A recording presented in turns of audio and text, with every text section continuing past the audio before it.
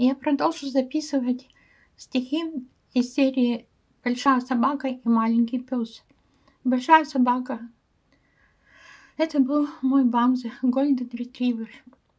Маленький пес – это была Карина Пепелон. Они были со мной долгие годы. Память о них в этих стихах. Вот. Они опубликованы на Прозору.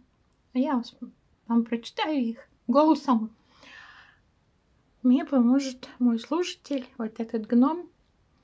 Сейчас он будет слушать внимательно, а я буду читать.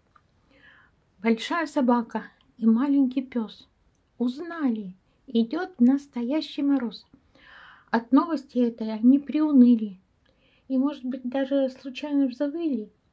Но тут воробей у окна пролетал и грустных собак за окном увидал. Он в миг развернулся, к собакам вернулся и громко что-то для них прокричал. Я бы вам рассказала.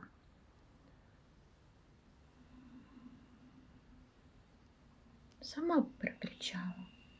Да только не слышала слов тех начала. Что слышала, то и могу написать. Там было такое «Не унывай».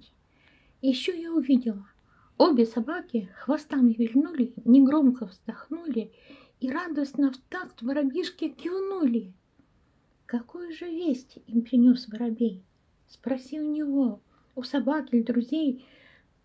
Когда ты узнаешь, расскажешь мне. А я вижу солнечный блик на стене и первых снежинок движений к земле.